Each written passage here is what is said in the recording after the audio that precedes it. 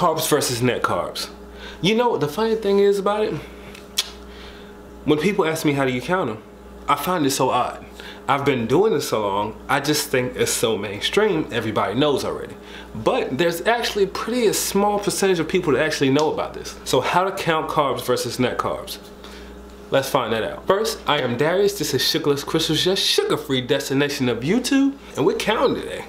We're doing a little math, a little math here and there, you know, a little 2 plus 2 equals 4, or rather 4 minus 2 equals 2. This actually got brought to my attention by my friend Cheryl because she doesn't do keto at all.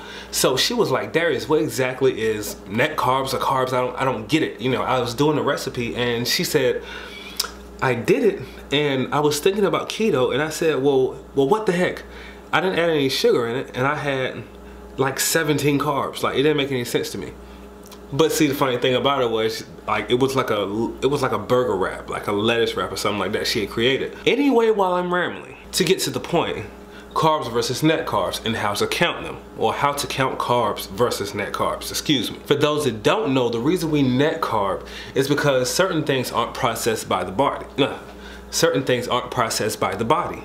So therefore, what passes through isn't used by glucose. So then you get the term net carbs of what's actually being used or counting against you in your process in, in the process of getting to, into ketosis or the process of actually kicking you out of it. If you were adding sugar into your diet or necessarily, you know, if you just had something like a sweet potato. Sweet potato sweet potatoes tend to have a lot of fiber, but they also have a lot of sugars in them. So therefore, when you take the fiber out and you have the sugars, you get the net carb of what's going to affect your body at the worst or what's not going to pass through your body, what's actually going to be used within your body. Now, some of these labels out there are very, very confusing, and I understand why. Trust me, trust me, I get it. I mean, just not too long ago, No Better Foods, when they first came out, before, you know, the whole chocolate chip scandal. All right, anyway, before the whole chocolate chip scandal, you know, when they first came out, I looked at the label and I was like, well, why in the world, how are they marketing it to people who are on low carb or keto and the carbs are so high? But what they were doing, they weren't, they didn't minus out the fact of, of allulose. See, allulose is a sugar alcohol and it isn't used up by the body. But they were adding it in there and so the carb count was like super high. So when I first looked at it, I was like, well, what in the world? So then when I figured it out, I said, well, this isn't very good for marketing because for someone who doesn't know this, they're gonna think that these cookies or your products are too high in carbohydrates. Well, your products are too high in carbohydrates. Now, let's talk about sugar alcohols really fast. Not too much into it, but you know, sugar, al sugar alcohols aren't processed by the body.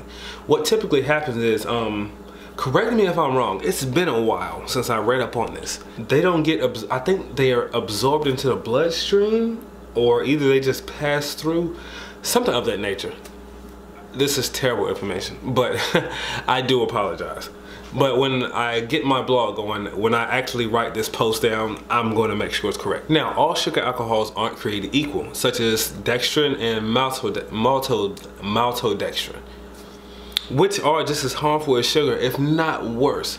But technically, they're still a sugar alcohol.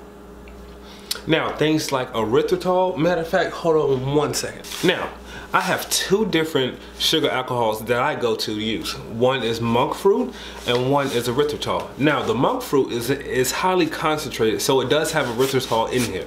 Now, looking at both of these labels, one says four grams of carbohydrates for four grams of sugar alcohols, and the other has four grams carbohydrates, but zero, oh, well, they didn't even list the sugar alcohols at all.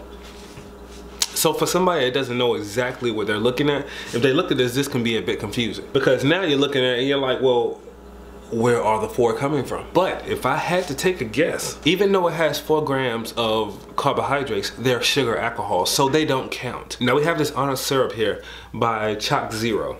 Now on the back, it has 13 grams of carbohydrates, but 11 grams of dietary fiber. So that's two grams missing. That's two grams of sugar or two grams of carbohydrates missing in this. So aren't you confused? Like it, it makes it like, it, it doesn't make any sense. So to be safe, to me, the best way that I do things, a great rule of thumb to have, unless they list the sugar alcohols or there's a known sugar alcohol in it. For instance, this has monk fruit. That's what Choc Zero uses to sweeten their ingredients. Well, most of them, they use monk fruit. Monk fruit is kind of a hot thing.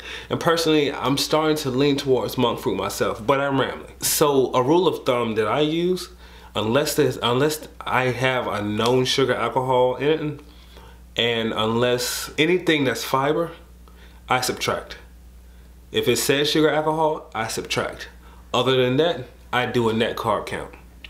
That's how I do mine, and I found out that it truly, truly works for me. Now, a quick tip, most companies are always gonna put that fiber down. For, for what reason, I don't know. I don't know if it's a trend or not, but they rarely put that sugar alcohols. Some will, some won't. Just like that um, erythritol that you saw. They didn't list the sugar alcohols on one, but they listed on the other. I guess they assume, well, since you're buying a erythritol, you should know already.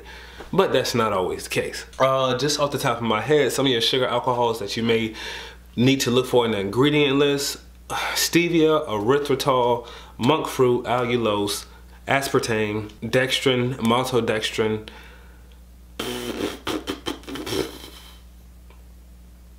Am I missing one?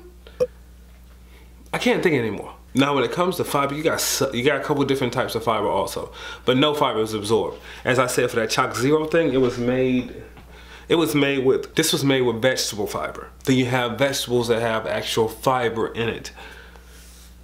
The list goes on and on. These pecans have three grams of dietary fiber and one gram of total sugars but four, four grams of total carbohydrate. So you kind of see how that works. So four minus three, you have one sugar. But let's say for instance, they said five grams.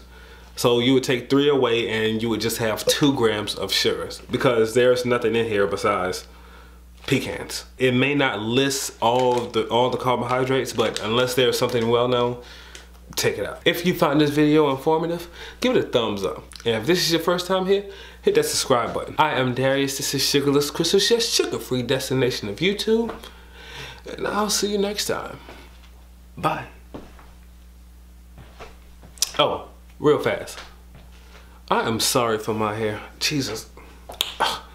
You know, I, I went the whole weekend without doing my hair. I've been wearing caps all weekend. But the thing was, I had to go to the gym tonight. And before I record this video, when I got back, like, I'm not gonna have time to do my hair, record the video, and edit it. So, I had to come to you guys as is. This is just a dedication that I have. Just, uh, I mean, technically the style is always supposed to look like that, but you know, I'm rambling, I'm rambling.